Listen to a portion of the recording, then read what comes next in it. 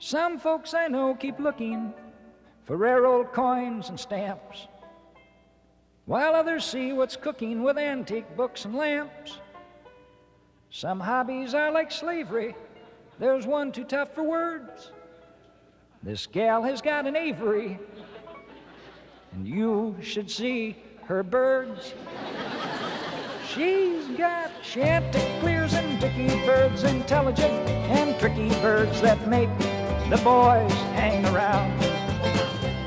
Her crow is black and shiny, her hummingbirds are tiny, but she's got the biggest parakeets in town. She's got cockatoos and bobolinks in royal blue and dusty pinks. You should see them hanging upside down. Oh, it's thrilling to behold her when she wings them past her shoulder, cause she's got the biggest parakeets in town.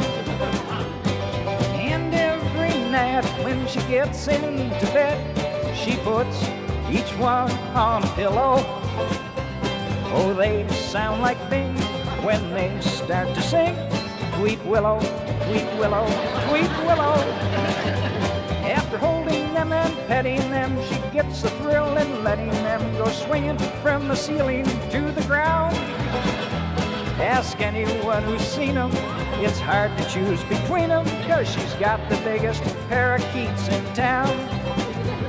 Imagine her in love one day as she tells her fiance, okay, on the day the wedding rolls around.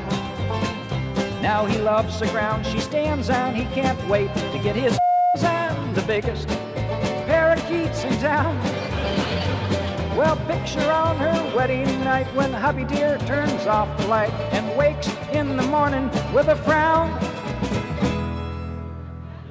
As he goes to caress her, he sees them on the dresser. The biggest parakeets in town. She's really got a boy. The biggest parakeets in town.